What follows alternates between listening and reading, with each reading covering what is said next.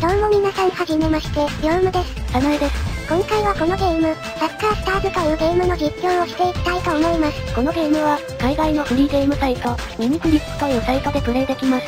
このゲームを簡単に説明すると、普通でもなく超次元でもなく、中途半端なサッカーです。そうです。一ノ瀬でもなく、フィギュアでもなく、ハンダみたいなゲームです。それを私たちはウプ主の勝手な事情でやらされるわけです。でももう口を言っても仕方ありません。早速ゲームを始めましょう。操作設定はこんな感じですね。かなりシンプルでやりやすそうですね。下手くそでもできるゲームですかね。そういうこと言うと色々危ないですよ。大丈夫大丈夫。最高視聴回数が50もいってない人の動画なんて相手にされないから。そうかもしれないですけど。よっしゃー、ゲームスタート。まずはチーム選びですね。左上から、北アメリカ、ヨーロッパ、アジア、南アメリカ、アフリカ、そしてオセアニアですね。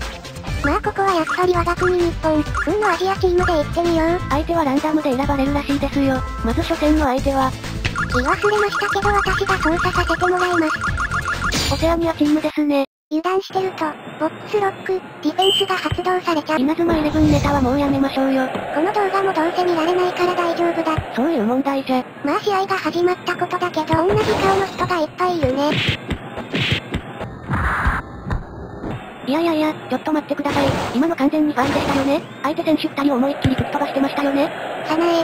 な、なんですか？バレなきゃ犯罪じゃないんですよ。いやバレてますよ。さっきの完全にバレてますよ。何よりこの動画の視聴者さんたちが見てる。この動画の視聴者はいないって言ってるだろうがまったく、何度言わせればいいのよ。なんかすみません。しかしなかなかシュートが決まりませんね。このままで大丈夫ですか？まだまだ試合は始まったばかりよ。まあ見てなさい。お、完全にフリーですね。くらえ、ドラゴンクラッシュ。嘘でしょ？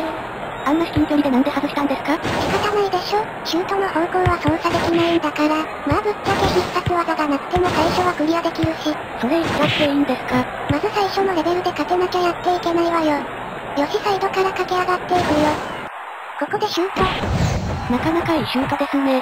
まずは1点、ここから一気に大差をつけてやる。ボールを相手のゴールにシュート正直このゲームどんな風に実況すればいいんですかね。今までまともに実況すらしてないのに。そうやって自分に言い訳したら負けよさなえ。実況なんて適当にやればいいのよ。たとえそれがパクリだとしても。パクリは絶対にダメです。冗談だよ冗談。冗談でも言っていいことと悪いことがあります。はい。そして何気にこちらに陣地まで攻められていますね。前半が終わったみたいね。緊張感が全くありませんでした。やってるこっちはもう飽きたよ。ということで。勝手すぎますよ。いいのいいの。つまらないものやっても意味ないんだし。なんなら雑談しようよ。はあ、少しだけですよ。よし、じゃあちょっと待ってて。おい、早くこっち来い。誰のせいでこんなことしてると思ってるんだ。いやだから謝ってるじゃないですか。ってあの、業務さん、なんで老眼鏡を抜いたの？え、ちょっと待って、業務一回落ち着こう。じゃあ誰かちょっとヨウムさん落ち着いてください。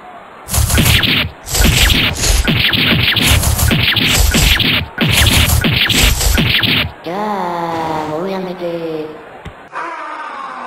これで役者はそろうし、謝罪だ。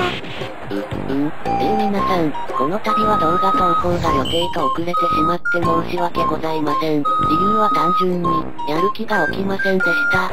一回死にますかいやほんとすいません冗談ですよ冗談。で理由は何ですかまあ、ゲームやったり漫画読んだりに集中しすぎました。あと正直マイクラ動画をどうやって次に繋げるか考え中です。ダメ撮りではなく、編集が終わった時にまた新しい動画を撮ってるので、時間はすごくかかります。計画性がないね。全くです。それにその方法でもちゃんと編集できる人はいますよ。言い訳オツだね。何もできないダメ主ですね。もう実況やめれば、やめたところで誰も気づかないよ。そうですね。そうしましょう。じゃあ今日見てネスクは実況をやめます。ご視聴ありがとうございます。ちょっと待って。まだやめないからね。最近始めたばっかりなのにもうやめるって、一番やっちゃいけないよ。だったらもっと更新ペース上げろ。そんなんでチャンネル登録者10人は欲しいって、何するの？努力してからそういうこと言ってください。頑張ります。じゃあ今日はここまでにしようか。そうですね、なんか疲れました。それでハネスクさん、締めてください。